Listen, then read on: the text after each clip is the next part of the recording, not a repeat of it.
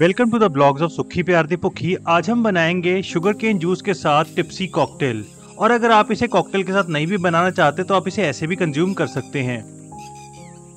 तो शुरुआत करेंगे, सबसे पहले हम अपने गार्डन से शुगर केन को निकाल लेंगे। शुगर केन के साथ ही हमने फ्रेश मिंट भी ले लिया और हम दोनों को अच्छे से साफ़ कर लेंगे धोकर। और साथ ही में नींबू और अदरक को रफली काट कर रख लेंगे।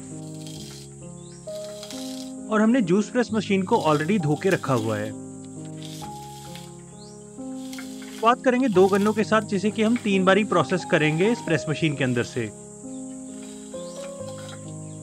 प्रेस मशीन के नीचे हमने रख दिया एक स्टील का बर्तन और उसके ऊपर रख दी हमने एक छन्नी। पहली और दूसरी बारी के बाद जब तीसरी बारी आप एक साथ एक गन्ना डालेंगे तो थोड़ा प्रेशर ज़्यादा लगेगा।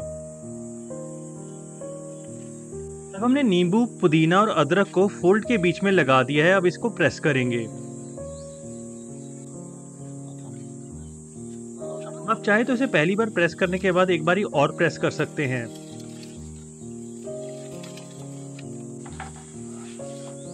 अब दो गन्नों से ही हमने एक से डेढ़ लीटर जूस निकाल लिया है। सर्विंग जग में ट्रांसफ़र करते समय इसे एक बार फिर से छान लेंगे।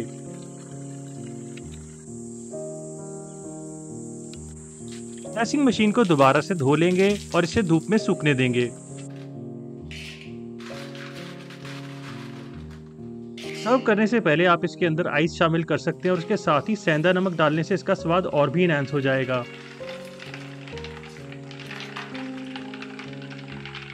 गन्ने के रस की खीर भी बहुत बढ़िया बनती है, लेकिन उस केस में हम इसके अंदर नींबू, अदरक और पुदीना शामिल नहीं करेंगे।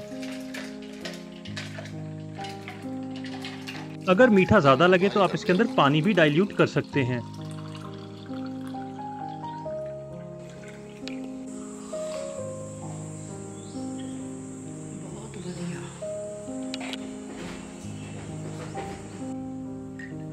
अब हम शुगर केन जूस के साथ बनाएँगे टिप्सी कॉकटेल जिसके अंदर हमने गुआवा फ्लेवर वाली नियॉन वॉडका का इस्तेमाल किया है।